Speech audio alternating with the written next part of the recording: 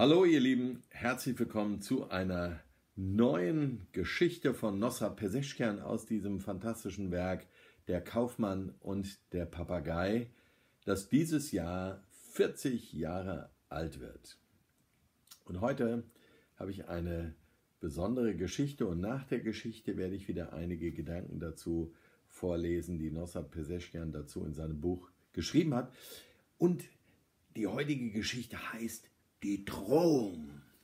Also lehnt euch gespannt zurück und harrt der Dinge, die da kommen werden. Die Drohung. Der Esel des Mullah war gestohlen worden. Voller Zorn rannte der Bestohlene auf den Bazar und schrie dort mit lauter Stimme Derjenige, der mir meinen Esel gestohlen hat, soll ihn auf der Stelle zurückbringen. Erregt mit hochrotem Kopf und geschwollenen Halsadern fuhr der Muller mit sich überschlagender Stimme fort. Wenn, wenn ich meinen Esel nicht auf der Stelle zurückbekomme, dann, dann werde ich etwas tun, was ich nicht tun sollte. Die Menge der Umherstehenden war sichtlich erschreckt. Und plötzlich stand, niemand wusste, wer ihn gebracht hatte, der Esel da. Die Menge zerstreute sich. Alle waren froh, dass die Sache so glimpflich abgegangen war. Ein älterer Mann aber wandte sich dem Mullah zu und sprach ihn an. Sage mir, was hättest du getan, was du nicht tun solltest, wenn du deinen Esel nicht auf der Stelle wiederbekommen hättest? Da antwortete der Mullah, was hätte ich gemacht? Ich hätte mir einen anderen Esel gekauft und sage du mir, ob das vernünftig gewesen wäre bei dem schmalen Geldbeutel, den ich habe.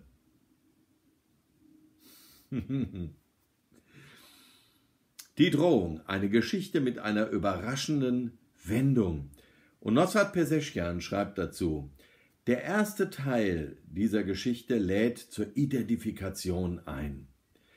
Dem Mullah ist durch den Diebstahl seines Esels ein Unrecht widerfahren, auf das er in einer Anwandlung von Aggression und Allmächtigkeitsfantasien reagiert.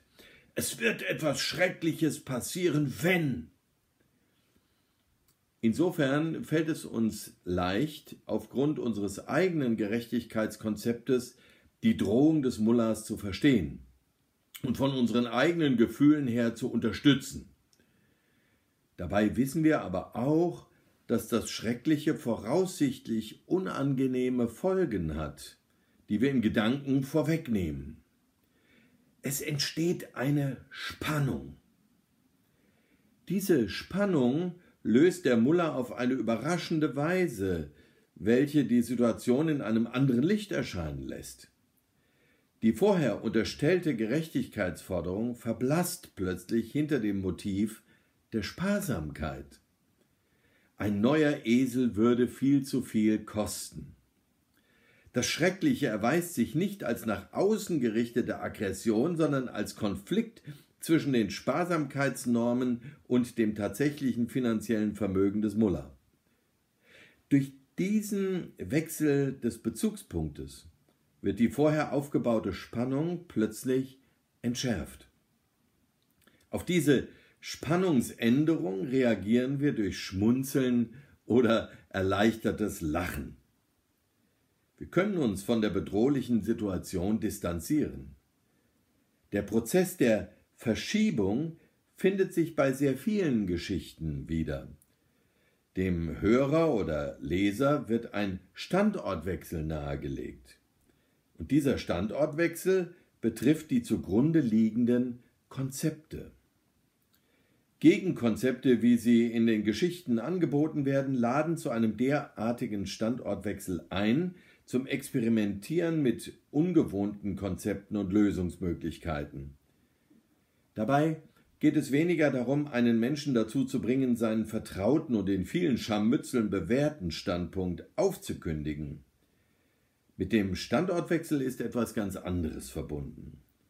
Bekannte Situationen werden unter einem anderen Blickwinkel gesehen, der ihnen zugleich einen anderen Charakter verleiht, so dass mitunter der Standortwechsel die Lösung eines Problems ist. Dabei wünsche ich euch wie immer viel Spaß und noch einen wunderbaren Tag und freue mich drauf, wenn ihr morgen wieder dabei seid, wenn ich die nächste Geschichte aus Der Kaufmann und der Papagei vorlese von Nossat Peseschkian, Orientalische Geschichten in der positiven Psychotherapie, erschienen im Fischer Verlag in der Reihe Geist und Psyche.